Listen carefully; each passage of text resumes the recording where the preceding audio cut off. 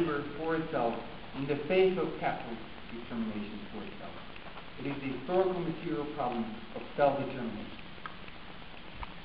From these all too brief remarks, I derive two conclusions, that is, two tasks in, in regard to the communist uh, hypothesis, which in the end might bring us together in the United Front, in which Badiou's argument for the subtraction from party and the state no longer ought to exclude that we take seriously the proposals of someone like Dacian The first step has to consist in historicizing the communist hypothesis.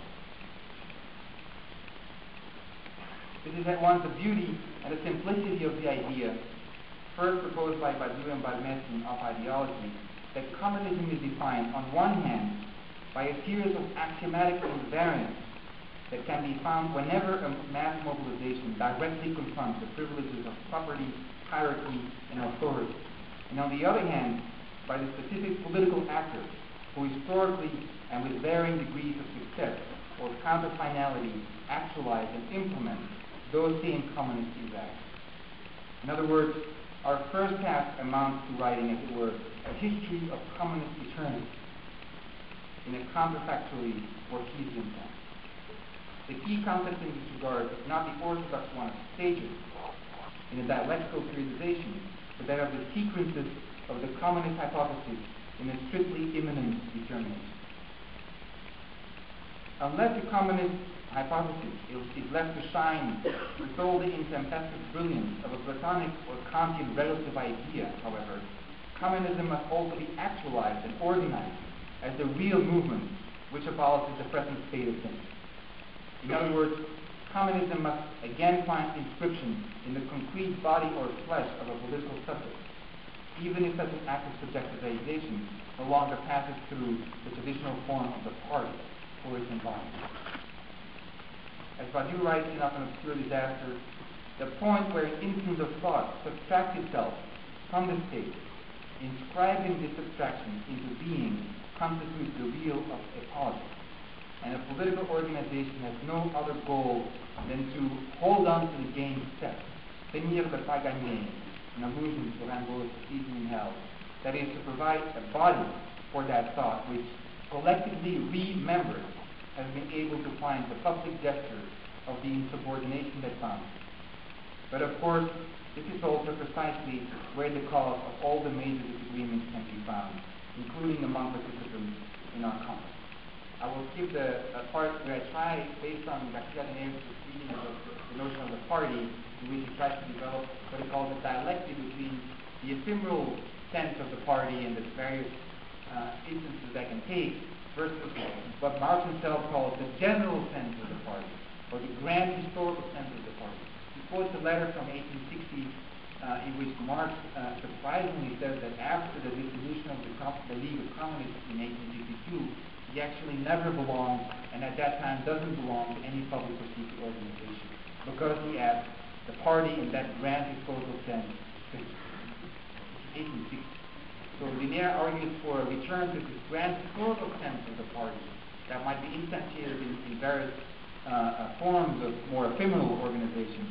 And I think this is not incompatible with some of the lesser known passages in Badiou's work where he also argues for the party as a flexible form of organization. Finally, with regard to the uh, question of communism and the state, in a recent interview after having occupied the post of second in command of his country's state apparatus, Garcia Linera even goes so far as to suggest the possibility that the state, provided it is subjected to a new constituent power, might be one of the embodiments that potentialize communist To claim otherwise, of course, would have been inconsistent on the part of a vice president. Even so, I find his words, as usual, both eloquent and provocative, uh, which is why I will quote them at length. Is the final quote. The general horizon of the era is communism. And this communism will have to be constructed on the basis of society's self-organizing capacity, of processes of generation and distribution, of communitarian, self-managing wealth. Think what Michael was calling the production of the common. But at this moment, it is clear that this is not an immediate horizon which centers on the conquest of equality, the redistribution of wealth, the broadening of rights. Equality is fundamental because it breaks a chain of five centuries of structural inequality. That is, that is the aim at the time, as far as social forces allow us to go, not because we prescribe it in that way, because that is, but because that is what we see. Rather, we enter the movement with expecting and desiring eyes placed upon the communist horizon. But we are serious and objective in the social sense of the term by signaling the limits of the movement. And that's where the fight came with various compañeros about what it was possible to do. When I enter into the government, what I do is to validate and begin to operate at the level of the state in function of this reading of the current moment. So then, what about communism? What can be done from the state in function of this communist horizon? To support as much as possible the unfolding of society's autonomous organizational capacity.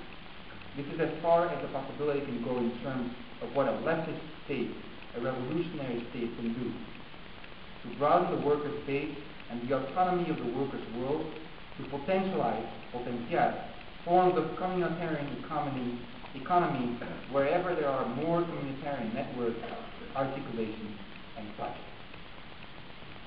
As for those of us with ADD, or simply a shorter attention span who dream of having no dealings with any state apparatus whatsoever, perhaps the first and original task must be to abandon all images that would model the history of communism, of communism upon the life of an individual, from birth to infanthood, through puberty to senility and death. All such imagery ultimately may well seem to be a historicization of communism in terms of its ages, but unlike a proper sequential presentation, this actually confirms the tacit assumption that communism is barely a passing episode within capitalism, which by contrast appears to be immortal, or, in a vulgarization of the same argument, more adapted to human nature. One of Marx's most succinct definitions definitions of the ideological work of communists, however, comes by way of a quote from Jean-Jacques Rousseau at the end of On the Jewish Question. Whoever dares undertake to establish a people's institution must feel himself capable of changing, as it were, human nature. Changing human nature. The egotistic individualism of human nature, which unfortunately casts its shadow even over Lenin's rhetoric in his pamphlet against the taboo disease of Western communism is then the first thing that needs to be destroyed as part of the practice of communism, not as an ideal to come, but as the destruction of the current state of affairs.